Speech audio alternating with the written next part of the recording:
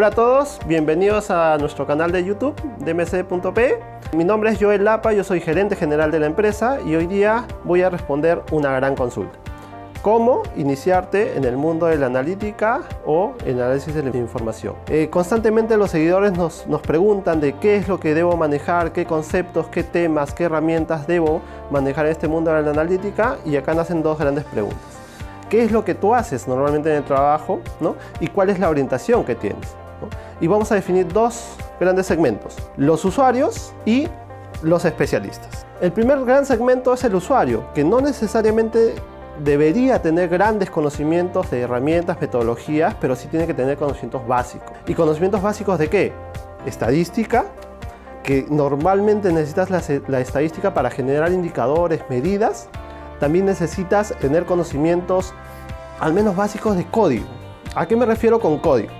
A veces nosotros programamos algunas cosas y ahora en esta nueva tendencia, esta nueva ola de, las tecnologías de la información, las herramientas cada vez se vuelven un poco más sofisticadas y necesitas eh, conocer al menos la lógica de lo que hacen los programadores, cómo se generan los códigos. ¿Por qué? Porque luego la vas a utilizar en algunas herramientas como SQL o como temas de base de datos. Requisito mínimo para este segmento, Excel. Excel a nivel este, al menos básico, intermedio. ¿Por qué? Porque Excel, eh, hay veces subestimamos un poco el Excel y el Excel es una de las herramientas analíticas más usadas en el mundo. ¿Ok? Entonces sí necesitamos tener un conocimiento básico, intermedio de esta herramienta y sacar toda la potencialidad que puede tener. Aparte de eso, ahora viene una nueva tendencia, que son las herramientas de visualización. ¿Qué son las herramientas de visualización? Justamente analizar esa información, pero darle un enfoque gráfico, un enfoque visual de alto impacto. Y estas nuevas herramientas de información, que pueden ser Click, pueden ser este, Power View, Power BI eh, este, o Tableau, ¿no? se vienen usando cada vez más. En el mercado un poco más desarrollado Power BI, pero son conocimientos que también deberíamos tener para nosotros presentar los resultados de los análisis que hagamos. Y si quieres un poco especializarte un poquito más o meterte más al mundo más profundo de la ciencia de datos, R y Python, que son dos herramientas libres que utilizan código, por eso al inicio decía que es un poco necesario manejar algo de código, algo de programación, pero ya es la parte introductoria a la ciencia de los datos y a manejo de, digamos, de estadísticas más complejas.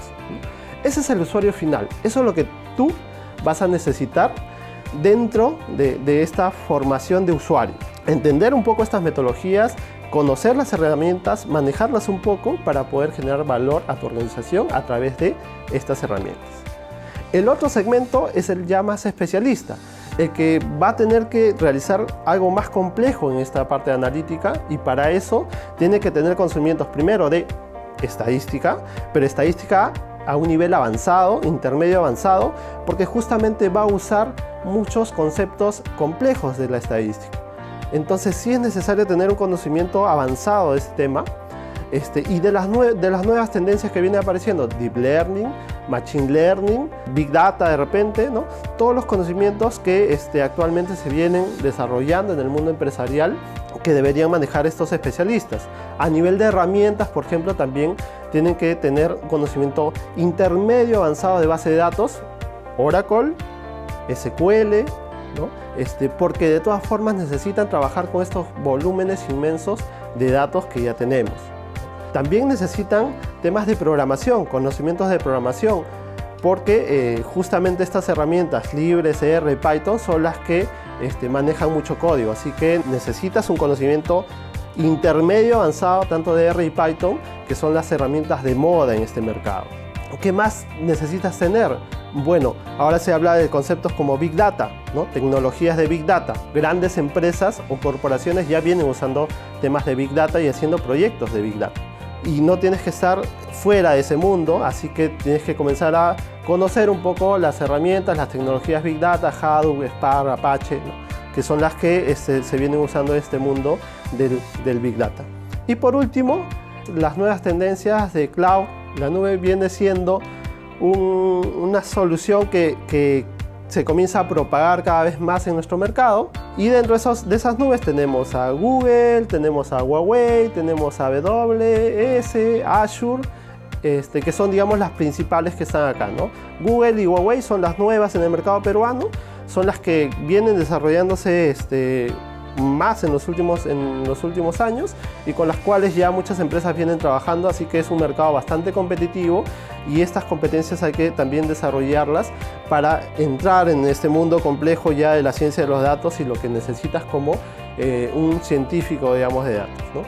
Ahora bien, ya te conté lo que necesita cada uno de los segmentos, el usuario y el especialista, pero hay algo transversal que tienen que tener estos dos segmentos, que es la parte de comunicación, es decir, cómo vendes la información, cómo vendes tu proyecto analítico. Y en ese sentido, ambos segmentos tienen que trabajar con temas de habilidades blandas, habilidades de comunicación eh, y también el tema de contar esa historia a través de los datos. Ahora se habla mucho de, de, este tema de data storytelling.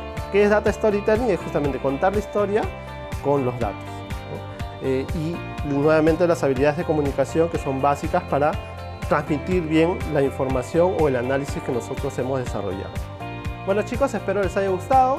Síguenos en nuestras redes sociales, dale like a este video.